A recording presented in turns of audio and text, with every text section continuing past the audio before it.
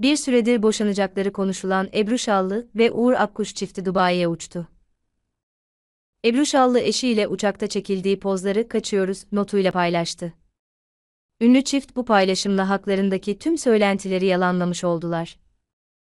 Ebru Şallı sosyal medya hesabından eşi Uğur Akkuş'un soyadını kaldırması ile Ebru Şallı'nın boşanma kararı aldığı iddia edilmiş. İş adamı Uğur Akkuş'un maddi zorluklar yaşadığı iddia edilmiş ve kuvvetli yatırımcıları dolandırdığı için hapis cezasına çarptırıldığı ileri sürülmüştü.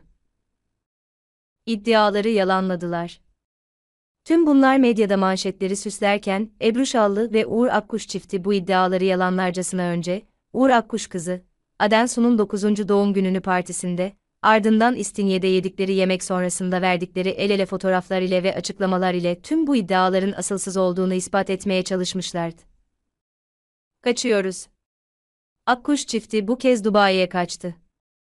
Uğur Akkuş ve eşi Ebru Şallı, özel bir uçak ile Dubai yolculuğu sırasında çektikleri fotoğrafları her zaman olduğu gibi Ebru Şallı sosyal medya hesaplarından önce nereye uçuyoruz acaba arkasından kaçıyoruz etiketleriyle paylaştı. Yeni projelere hazırlanıyor. Uğur Akkuş ve eşi çok önemli iş görüşmeleri için önce Dubai ardından Abu Dhabi'ye geçecekler.